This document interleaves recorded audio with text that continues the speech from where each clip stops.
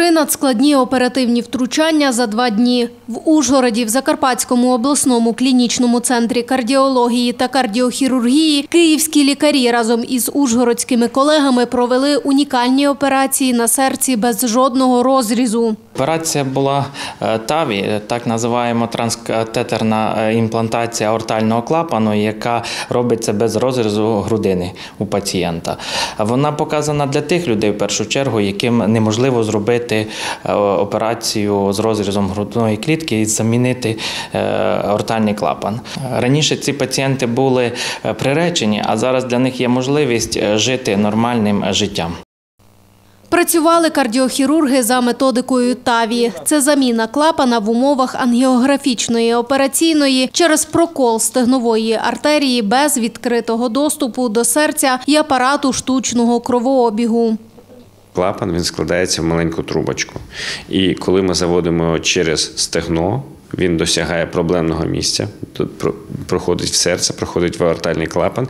І коли ми його вивільняємо, клапан розправляється і приймає своє положення в тому е, клапані, який вже був уражений, який не функціонував. Е, І ця процедура, вона при е, злагодженій роботі, вона займає приблизно півтори-дві години.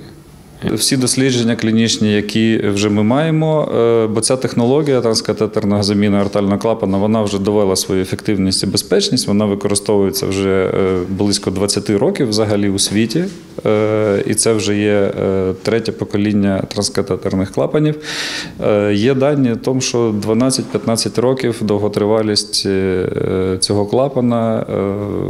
Ці, ці дані ми вже маємо. І вони досить оптимістичні, тому що дослідження ще продовжуються, і тобто ми будемо мати ще більше інформації з цього приводу. Такі оперативні втручання показані для пацієнтів з діагнозом аортальна вада серця. Однією з трьох, кому провели сучасну операцію, була і 68-річна пані Ольга з Міжгір'я. Я була в Міжгір'ї, мене лікарі наші теж спасли, міжгірські. Вони, е, я мала клінічну смерть. І з-за того я вже сюди попала.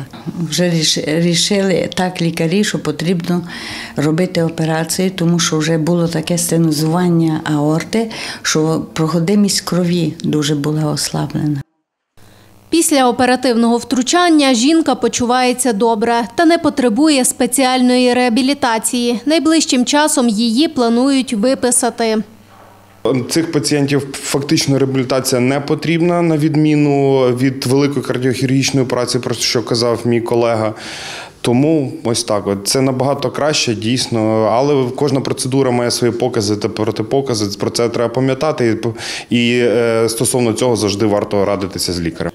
Методика ТАВІ вкрай дороговартісна, порівняно з класичним клапанним протезуванням. При ТАВІ вартість оперативного втручання в Європі доходить до 50 тисяч євро. Без підтримки держави такі операції в Україні практично неможливі, зазначає директор Закарпатського обласного клінічного центру кардіології та кардіохірургії Роман Соскида.